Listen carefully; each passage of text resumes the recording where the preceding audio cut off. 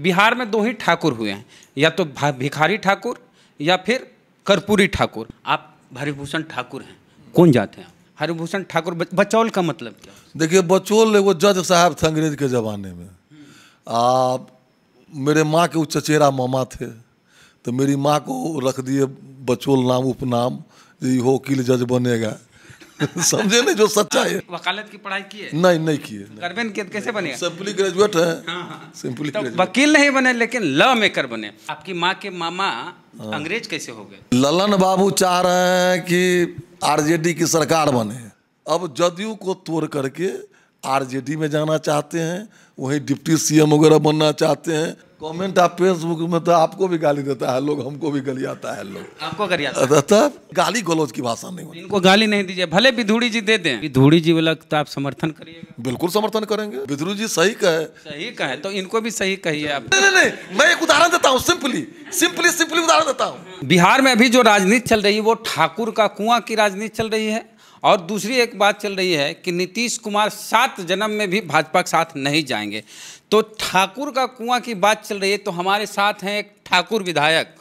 भाजपा के विधायक हैं हरिभूषण ठाकुर। बचौल तो बाद में लगा हुआ है शौक से लगा। असल में आप ठाकुर हैं। हरिभूषण ठाकुर हैं आप। ठाकुर हरिभूषण ठाकुर हैं। आप ठाकुर हैं। ठाकुर हैं। तो निश्चित रूप से ठाकुर हैं। ठाकुर हैं। बीजेपी से बीसपी से विधायक हैं फायर ब्रांड लीडर हैं। अब चलिए जो आप लोगों का प्यार सने तीन बार विधायक बन गए दो बार बन गए तीसरी बार। तीसरी बार सॉरी ये वो कमी अढ़ाई बार बन गए। हाँ, नहीं नहीं एक बार अभूतपूर्व। हाँ।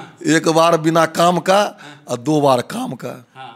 बिना काम का का है काहे वो भंग कर दिए थे लालू जी राते राती जो? अढ़ाई वाला में चल गए। वो नहीं तू कह जाए लोग अभूतपूर्व विधायक है। बतिया शुरू कर देते हैं कुआँ पर। आपका कुआँ कहाँ है? ठाकुर का कुआँ खोजने आए हम हम लोग तो चापाकल के युग में पैदा हुए तो कुआँ से तो हम लोग को वास्ता रहा नहीं। हम्म, लेकिन जहाँ तक कि कुआँ वाली बात आपका कहने का जो अंदाज है और आप चाहते हैं कि मनोज जी जो राज्यसभा में बोले नारी बंधन अधिनियम पर। देखिए उनका सोचा समझा ये रणनीति है। क्योंकि राष्ट्रीय जनता दल को उसमें लाभ लगा। ठाकुर के जगह राक्षस क्यों नहीं बोले? ठाकुर के जगह रावण क्यों नहीं बोले? तो इतवे है ठाकुर का कुआँ लिखे ओम प्रकाश वाल्मीकि साहित्य पढ़िएगा। साहित्य तो हम भी पढ़ते हैं। ठाकुर का कुआँ पढ़े हैं? ठाकुर ठाकुर का कुआँ ठाकुर माने भगवान भी कहते हैं। भगवान को भी ठाकुर कहा जाता है। हाँ, लेकिन उस कविता में ठाकुर कवि महोदय इस कविता में कहना चाहते हैं कि ठाकुर सामंती का कुआँ था। तो वैसे सामंती मानसिकता के लोग तो होते हैं। अच्छा एक चीज़ है ठाकुर की बात हो रही है। तो यहाँ राजपूत लोग बवाल के लिए ब्राह्मण वर्सेज राजपूत हो रहा है। देखिए ठाकुर को सुनिए ना। उसमें क्या बोलता है कि ठाकुर को तनी सुन सुन लीजिए। आप हरिभूषण ठाकुर हैं।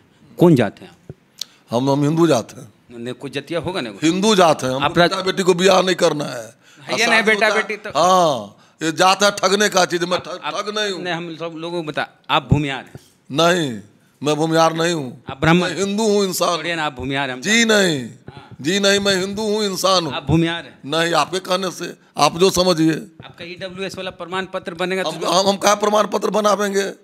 प्रमाण पत्र क्यों बनावेंगे हम? को आरक्षण मिल जाएगा अगर आपको जी नहीं आरक्षण में हमारा स्पष्ट सोच है कि जो भी समाज का कमज़ोर है जैसे अगर हमको एक गाय है वो गाय देती है एक लीटर दूध और चार गो बच्चा है हमको तो जो बीमार बच्चा है उसको उस दूध पर सबसे पहला हक है। सामाजिक रूप इसलिए समाज में जो भी कमज़ोर है जो भी पिछड़ा है चाहे वह सामाजिक रूप से हो। लंबा चौड़ा हो जाएगा।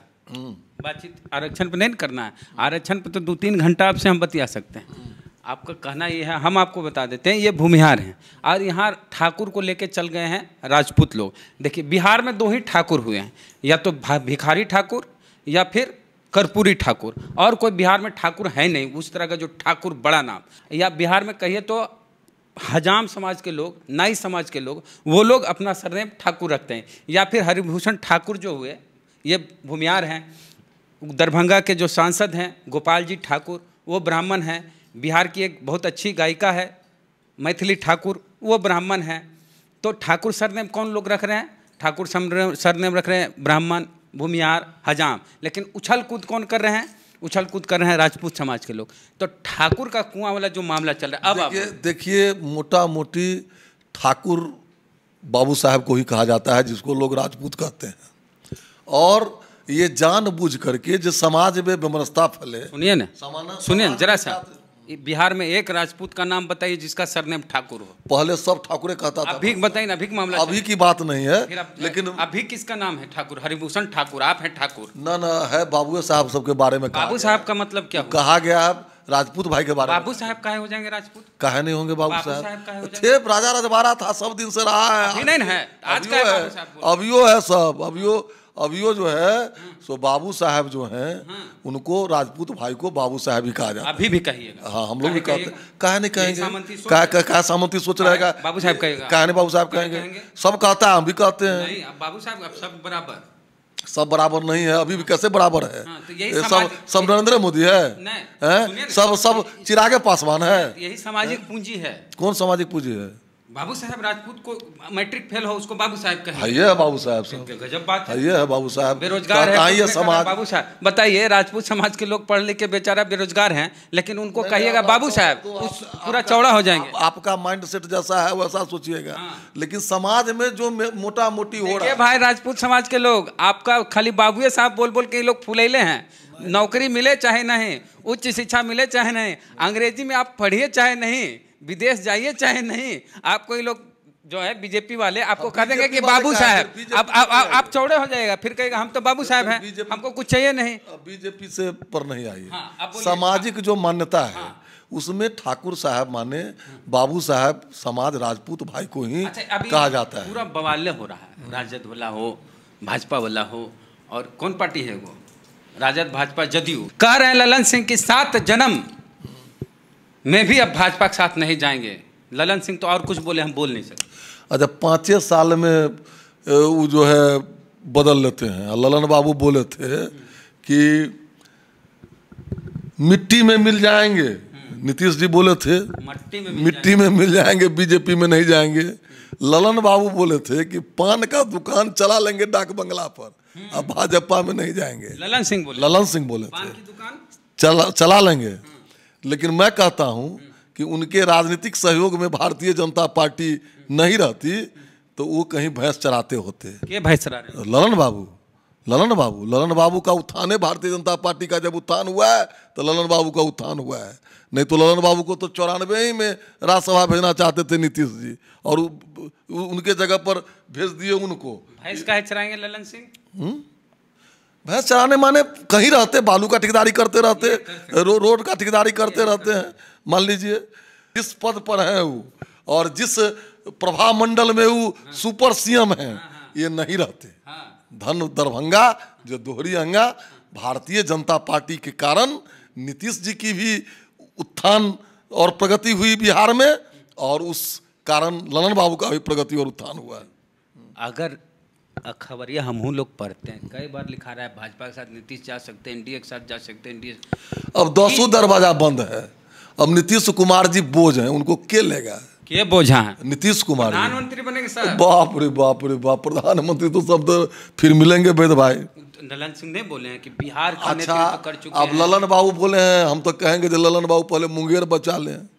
मुंगेर से सांसद पहले हो जाएँ। दोनों अपने में लड़ रहे हैं अशोक चौधरी ललन सिंह। तो लड़ेंगे नहीं ललन बाबू अशोक चौधरी की लड़ाई नहीं है।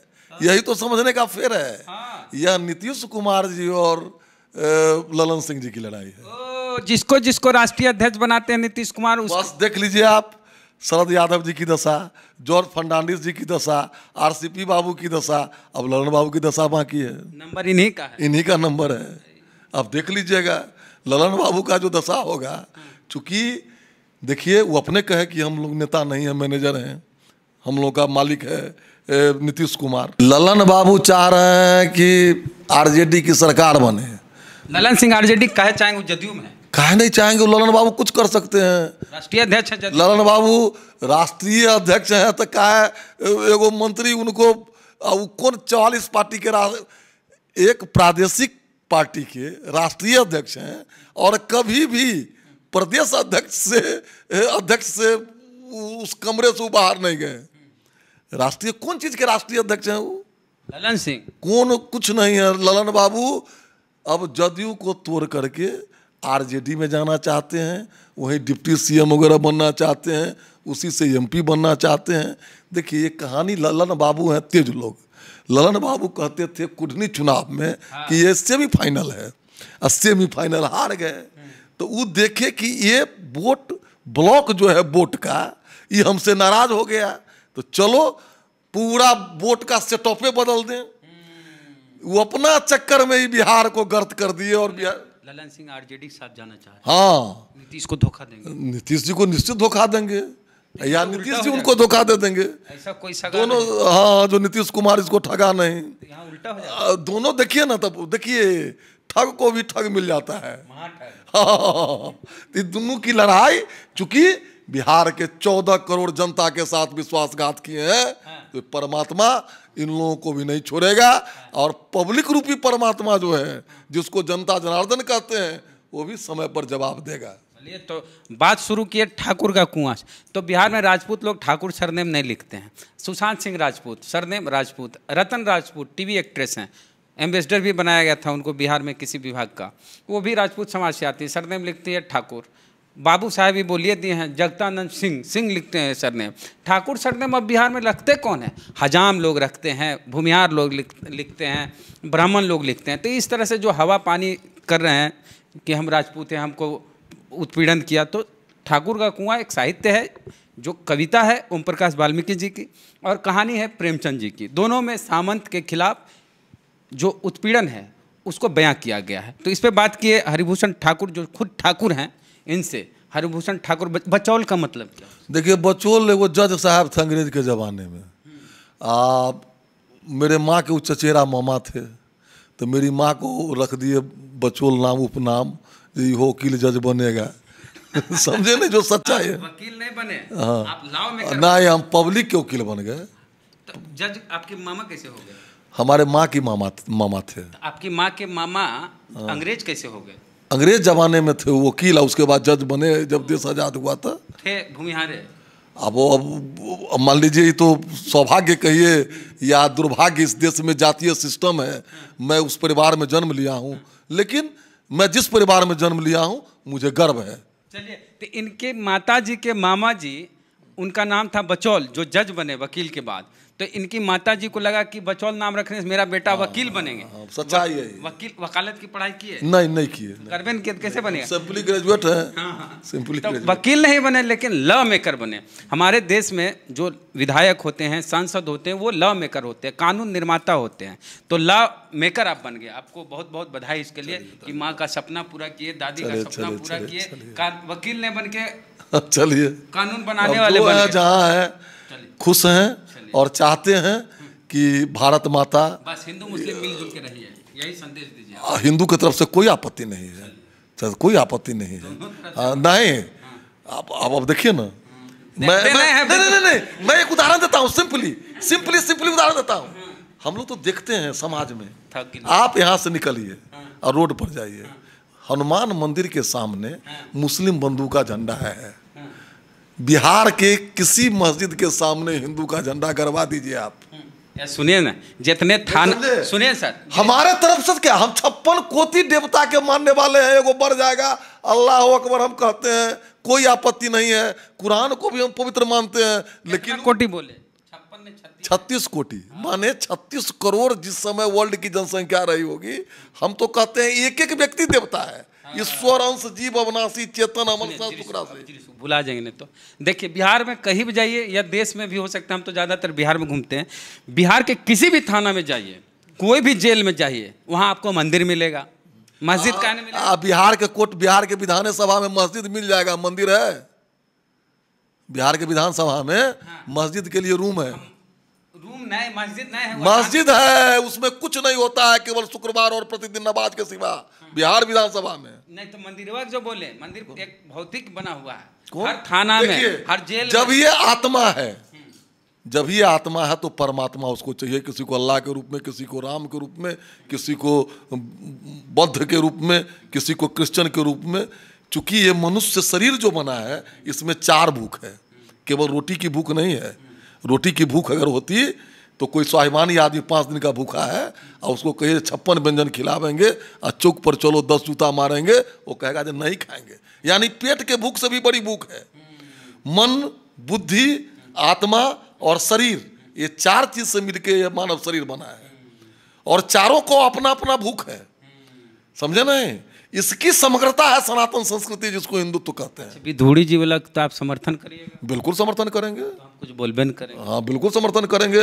स्पीच में कैसे हेड स्पीच है? वो जो प्रधानमंत्री को टोका टोकी करे रनिंग कमेंट्री करे वो अंट संट बोले। आ हम जो बोल दिए उसको उसको क्या ज़रूरत थी जो क्या बोल रहे थे बिदुरी साहब? क्यों इंटरप्ट करेगा? करेगा तो सुने। चलिए तो ये बचौल जी कहना है। आपका क्या कहना है? प्रतिक्रिया दीजिए कमेंट बॉक्स में। फेसबुक पे देख रहे हैं पेज को लाइक फॉलो नहीं किया कर लीजिए।